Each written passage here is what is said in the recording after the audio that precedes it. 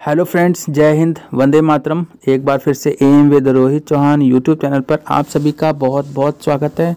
Friends, आज की video में हम जानेंगे ह्यूमन डाइजेस्टिव सिस्टम, मानव पाचन तंत्र। और फ्रेंड्स, ये सातवां पार्ट है। छः पार्ट के वीडियो के लिंक हमने डिस्क्रिप्शन पे अपलोडेड किए हैं। तो फ्रेंड्स इस वीडियो को देखने से पहले उन छः वीडियो को आप ज़रूर देखिएगा और कमेंट करके बताइएगा हमारी वीडियो कैसी बनी है।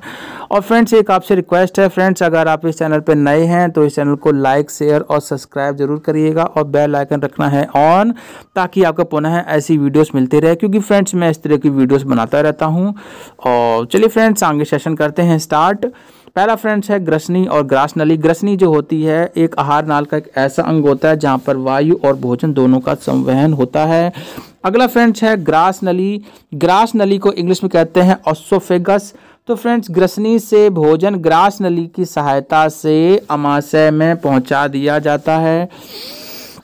और वायु से, वायु नली की सहायता से फेफड़े में पहुँचा दिया जाता है। नेक्स्ट फ्रेंड्स है ग्रसनी और ग्रास नली में भोजन का पाचन नहीं होता है, क्योंकि यहाँ पर किसी प्रकार का कोई एंजाइम नहीं पाया जाता है।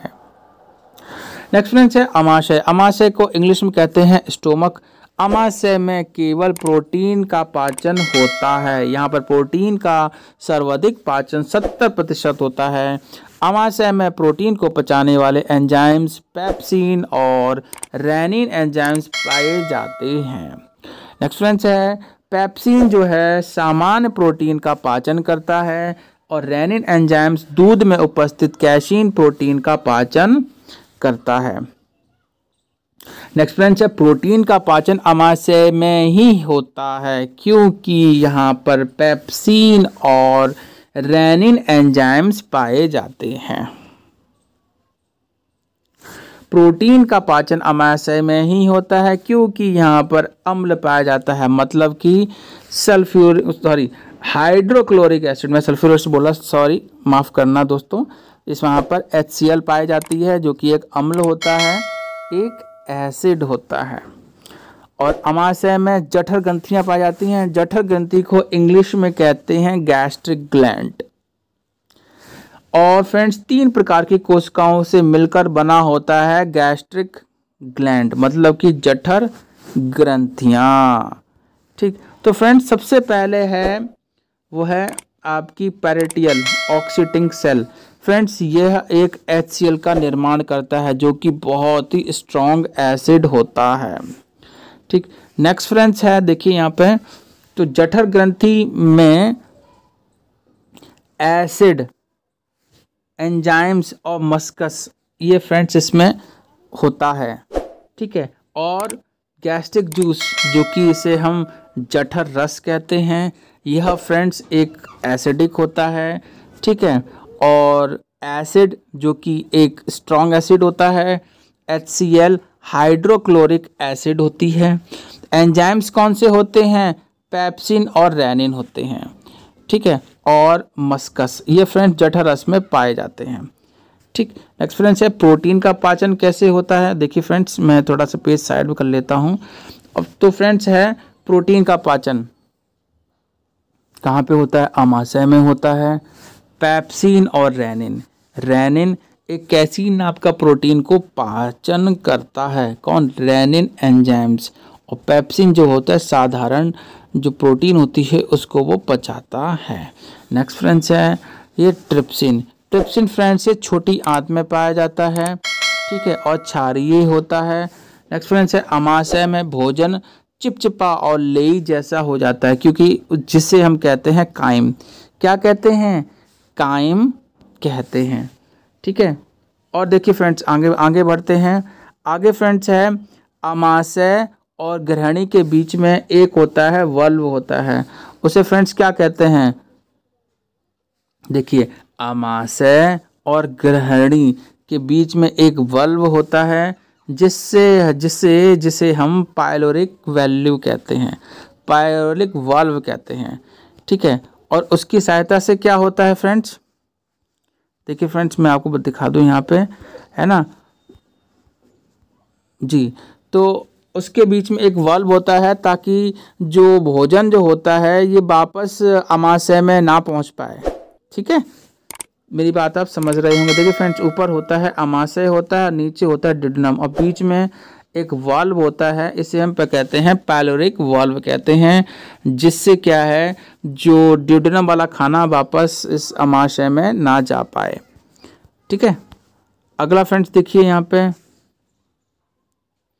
देखिए, मैंने आपको बताया था कि हमारे जो गैस्ट्रिक ग्लैंड में एक एक वो एसिड होती है H C L hydrochloric acid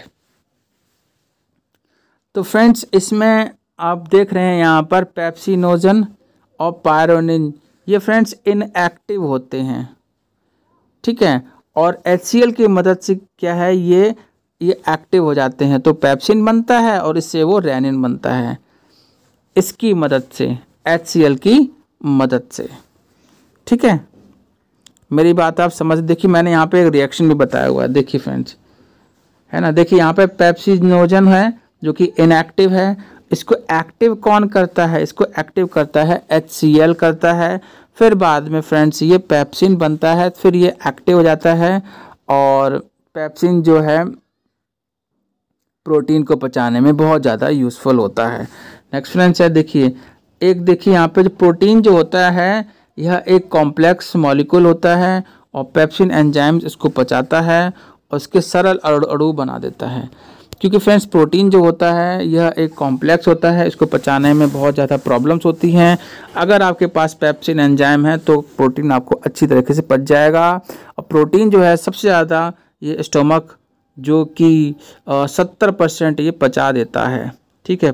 कौन? पेप्सिन और और रेनिन एंजाइम्स ठीक है?